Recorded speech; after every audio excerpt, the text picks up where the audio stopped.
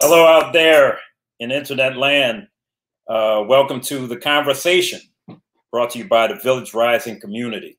So uh, I'm your host, Darrell Lavigne, and uh, we talk about uh, talk with the artists and uh, and how they affect the culture, and we talk a little bit about their uh, their upbringing, everything you want to know about the artists, and the music mainly, because that's the most important thing is uh, you know changing changing lives by playing the music. So uh, today we have the one and only, my guy, Marion Meadows, saxophonist extraordinaire. Welcome, Marion. Thanks, D. It's good, good to, to be here, brother. Always good to have you, man. Well, you know, we've been friends for a long time. Mm-hmm. And I enjoy the fact that uh, you have a show now and that we get a chance to uh, have conversations like this because this is important. I believe this this kind of content is important for all of us, and especially for uh, you know the next generation to to have treasure chest of uh, these conversations that we're having. They're very valid for the future, and they're certainly valid for keeping uh, a tab on on what contributions we've been making as musicians and as human beings. So thank you right. for having me. oh, definitely, definitely, and uh, and some people have been requesting requesting you. So I had to say I gotta get I gotta get Marion in right away. I was I had him I had you down the line. I was building up, you know, but I said, yeah, I gotta get him now. Let's see because uh, you just came from Seabreeze, right? I did the Seabreeze Jazz Festival, I believe uh, was the first major festival of the season. Uh, yeah. indication that uh, we are coming back. The music, uh, of course, the music wasn't going to go anywhere anyway, uh, right. but we're coming back as a community. Mm-hmm. and as you all know, we have a very rich, wonderful community of people who are so giving. So we've missed each other, you know, as our co colleagues. You know, people think we have a big competition. We miss each other. I mean, we're we are yeah. such, we're such fans and friends of one another uh, that um, it was so nice to see all the all, all the musicians and the fans, of course. Uh, so here we are. We, we're getting started again, and uh, thanks to Seabreeze, it was a great festival. Yeah, it was it was great to see all you cats, man, together, man. Y'all, y'all, and every everybody in white, man, just hanging out, man. You know, Norman, it must have been a call for white. Everybody had white. I don't know. If white that. Was that a plan or was that what? what no, was that? I, I, it's just everybody wore white. You know, I don't. Yeah, nobody planned that. They hey, y'all look like y'all was in the Bahamas or something, man. that's the mystery. That's the mystery of life. You know. Oh yeah, you, I don't know. you show was. up every everybody's got white clothes on. I thought it was I thought it was hip, man. I thought it was a plan, you know. So yeah, and you know, Mary, you you have a long, illustrious career, man. Uh, talk a little bit about. Are you from the East Coast, right? I am. I am. You are from the East Coast. Talk a little bit about uh, coming up and. Uh, well, you know, being uh, exposed I mean, well, for me, uh, growing up, I grew up. You know, I was born in West Virginia, mm-hmm. but I was uh, uh, my dad. Uh, we moved from West Virginia. My dad, um, you know, ended up through his journey moving his family to Connecticut, uh, mm-hmm. and of course, he wanted to get away from coal mining. That's what the industry was there, and uh, so I grew up right outside of New York City in the suburbs called Stamford, Connecticut and being in and around New York City, was destined to, you know, if I were going to be a musician, I have to, of course, you know, take the litmus test of whether or not I can prove myself in New York City. And in New York City, they were not forgiving at all. When you show up in New York City to, to do a jam session, they tell you to get the heck off the stage, but not in those words. It's a little bit more, a little bit more, more forceful. a little bit more, you know, forceful than that. You know, they but it was certainly a proving ground after my, um, you know, my tenure as a young student on clarinet, and that's where I started. And I and started in elementary school, and I went to the band teacher on the suggestion from my you know, uh, my teacher in uh, third grade who asked me, you know, you know, they gave out the little recorders, and she she was like, "You seem to know how to play that little thing." So she suggested that I go ask the band teacher if I could join the band. And I mean, this this is just a testimony to to to how they how much they paid attention to children back in our day because we actually had a full band in elementary school, which is which was amazing. Mm. And and getting us prepared. And also, they had instruments at the school that once you decided if you were going to play an instrument, they gave you an instrument. Although they gave me an old clarinet, clarinet was like 1910, you know, it's like Sidney Bechet style. but nonetheless, uh, when I first got to the band teacher, I, he said, What do you want to play? And I said, I want to play saxophone. so he said, Man, everybody wants to play the saxophone. We don't have any more saxophone. He goes, We're I said, What do you got? He said, Clarinets. And I said, Oh no, clarinet, man. I, I, will get, I'll get beat up carrying that little case home, that little clarinet case. You got to give me something better than that.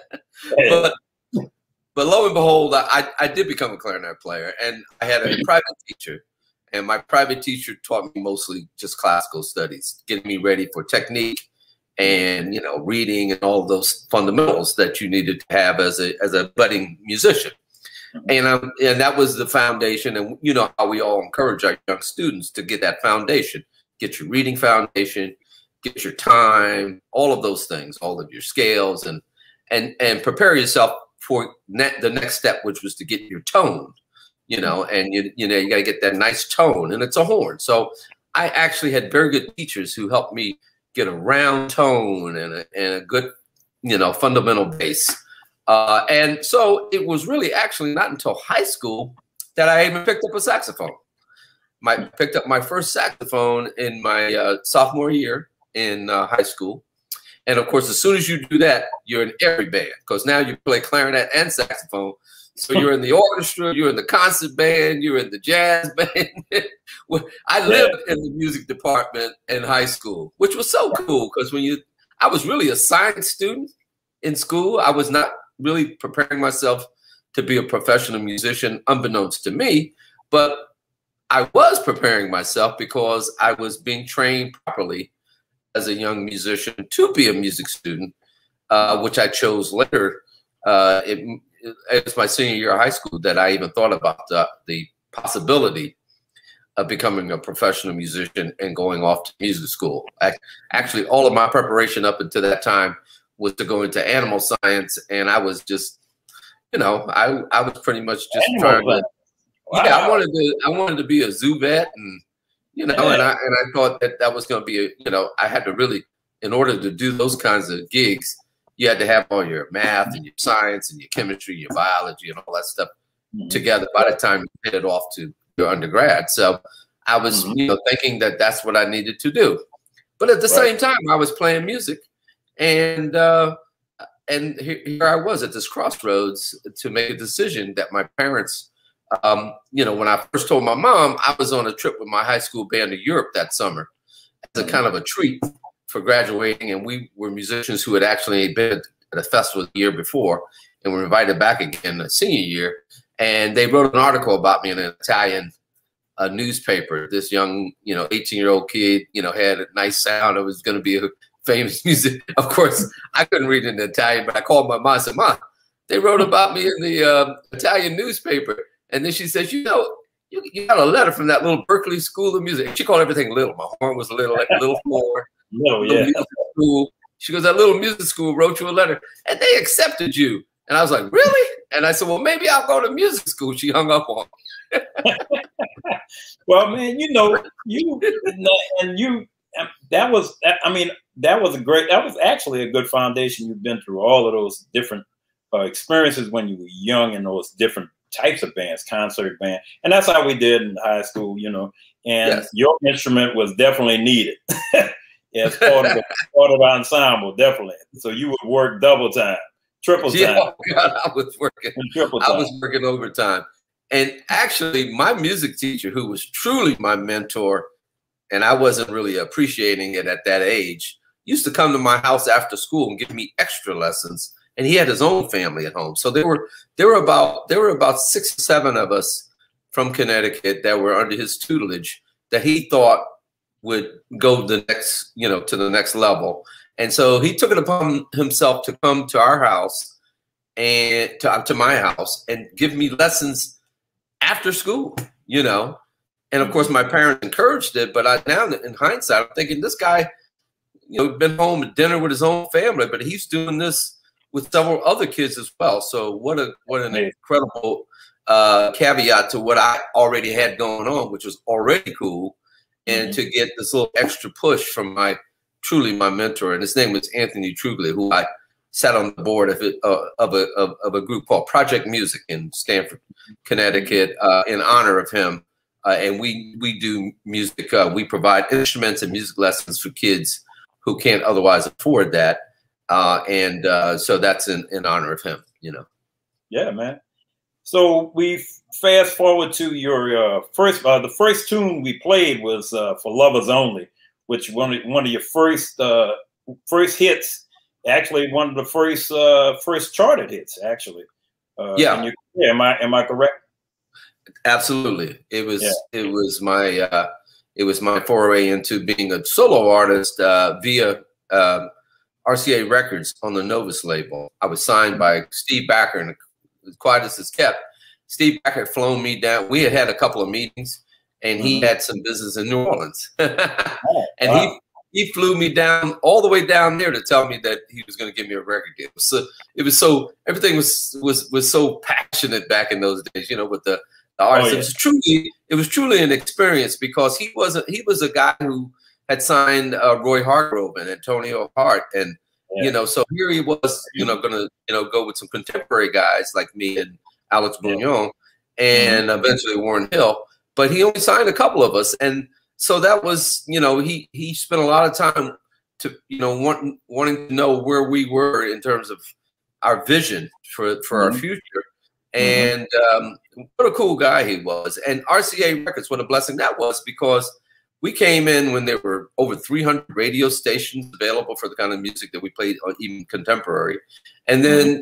artists had you had two publicists on both posts, and you had a big giant machine behind you, and you came in selling, you know, you, you your freshman uh, outings would be 100, 200,000 records sold. You know, it's crazy. That's what, that's yeah. and and I, I, tell people that that's when you had like uh, serious people who loved music that was at the top and the executive level.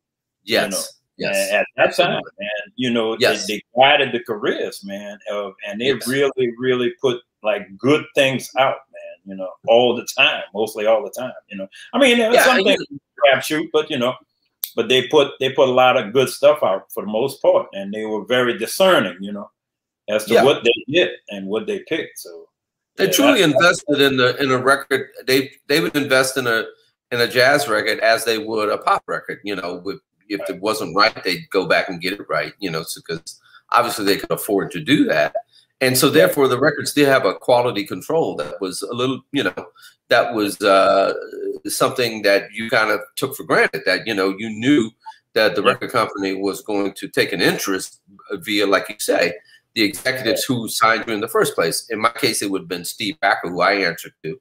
And so mm-hmm. therefore he would he, he would he would say, uh, look, you know, uh, and we worked and to get the material right, and um, it was great. It was a great experience and it was a great experience to be around. Eh, you know, he was mixing us together as a community with you know Roy Hart, young Roy Hargrove, who was